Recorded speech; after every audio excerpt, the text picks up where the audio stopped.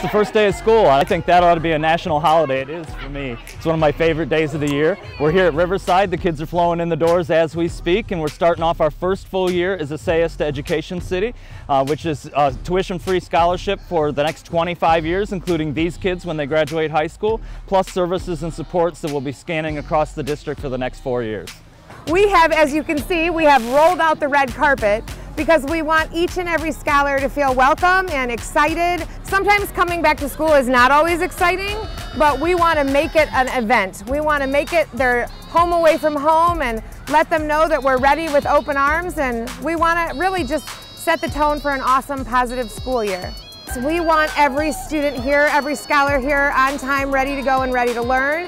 Um, we will not turn scholars away, so if they happen to be running short on supplies or need uniform help, we will help them get what they need because the most important thing is that we have them here in time, on time, working, ready to learn in class. So please, even if you need help getting uniforms or if you need help getting supplies, we are here to help with that. We really just want every scholar in a Riverside seat so that they can work and learn and have an awesome year.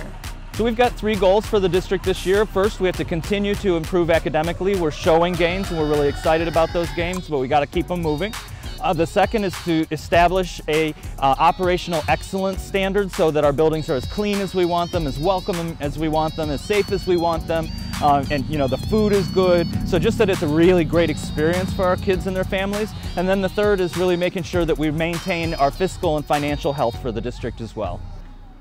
We are very, very excited about this year, excited about our new building. We are just like overjoyed just looking down the hallway in the classrooms. It's just such a beautiful space.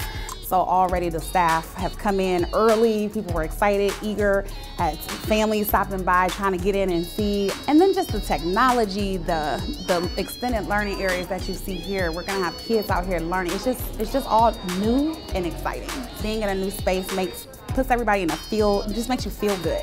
So everybody's coming in and, and just happy, happy to be here, excited about um, about being in a new space, in a, in a nice space. With our leadership and youth development model, we want to make sure that we're empowering students to be leaders.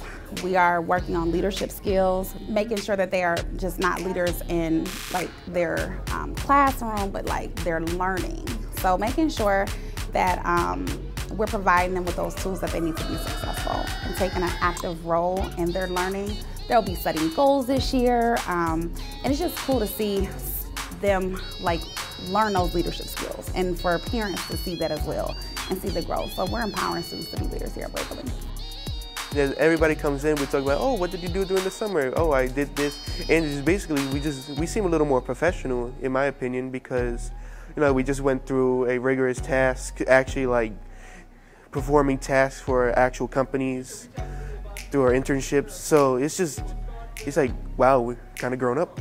I feel like the summer went by kind of quick, but it was, it's nice to be back. I miss everybody, all my teachers and all the rest of my friends and all the other students. So I'm nervous. I'm nervous for like the next step, you know, because this, after this is college. So I'm not really 100% on what, the, what's to come this year.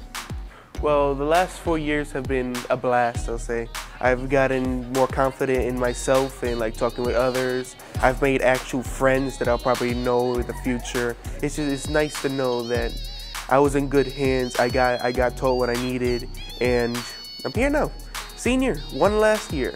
Well, I just have to say we have an incredible uh, team of educators across the district in all of our schools. I'm very, very proud of the teachers and principals and all the other educators that, uh, that teach and, and lead and run our school buildings. And families can be really confident that they're going to have a great experience when they send their children back to CMSD.